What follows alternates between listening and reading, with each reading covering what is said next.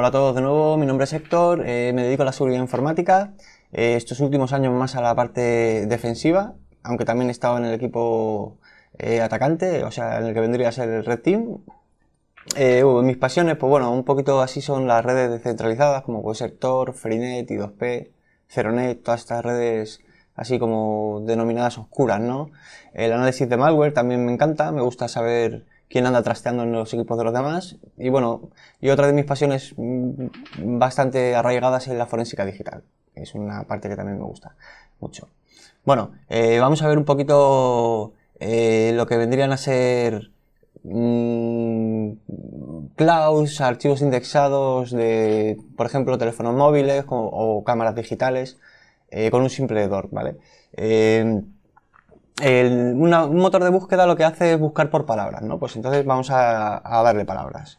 Vamos a decirle que los archivos indexados de, por ejemplo, DCIM, además ya como vemos aquí ya nos lo, nos lo autocompleta y hay un montón de, opciones, ¿no?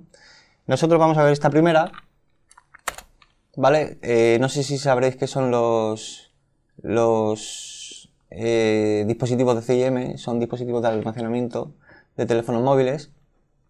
Y bueno, eh, lo que estamos viendo aquí, por poneros un ejemplo, eh, son páginas web que ofrecen el servicio de un cloud, llamémosle un cloud,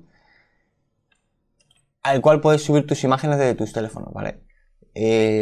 bueno, vamos a ver, una, una otra busquedilla así que puede ser interesante es, por ejemplo, WhatsApp, por ejemplo, o, Secret, ¿no? Todas estas son búsquedas, estas son búsquedas avanzadas, lo que venimos a llamar DORs, ¿no? Como podemos ver, lo que hacemos es encontrar archivos indexados, ¿vale? Indexof, indexof, indexof, en este caso WhatsApp, ¿vale? Bueno, este es un dispositivo Casio un dispositivo de almacenamiento y aquí tenemos que son fotos. Y esto de Ichu, no sé si será el nombre o no. Pero bueno, la cosa es que simplemente con, esa búsqueda vemos eh, fotos personales de las personas, vídeos, un montón de archivos. Aquí, veis aquí, por ejemplo, esto es una foto personal. Que bueno, a lo mejor esta, esta señora no le importa, ¿no? Pero, eh, o sí, pero está, estos son, están exponiendo datos de terceros eh, cara a Internet, ¿vale? Esto es algo que no debería estar ahí. ¿Vale? Este es un ejemplo de un Casio, por ejemplo. Aquí tenemos otro, otro ejemplo, bueno, de una chica que se llama Sara, indexada las fotos. Y bueno, vamos a ver qué fotos tiene esta chica. Son todas fotos personales. Otra cosa es que fuesen fotos Aquí tenemos vídeos también. Y esto es simplemente una búsqueda. Aquí podríamos obtener los metadatos, obtener más información de lo que, de lo que contiene la, foto. También tenemos aquí WhatsApp imágenes, notas de voz de WhatsApp, o sea que un montón de información personal y, y, por qué no privada también, ¿no? Este no tiene nada, este es otro de WhatsApp, pero este no parece que tenga gran cosa. Podemos seguir buscando también, podemos seguir buscando archivos secret, por ejemplo,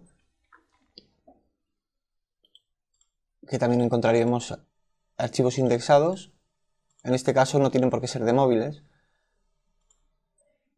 pero sí encontramos una cantidad de información bastante importante, ¿vale? Con una simple búsqueda. Además, no solamente eso, sino que eh, si estuviésemos buscando dispositivos eh, de almacenamiento de teléfonos móviles, vemos que en 0,22 segundos nos ha encontrado 278.000 resultados. ¿Vale? Así que bueno, este es un poco lo que vendría a ser un DORC eh, enfocado a archivos indexados o en el cloud de, de un navegador, ¿vale? Bueno, pues esto es un poco lo que viene a ser un motor de búsqueda y la potencia que puede tener con unas simples palabras bien estructuradas, ¿vale? Así que bueno, si os ha gustado esta técnica, os invito a que os apuntéis al curso.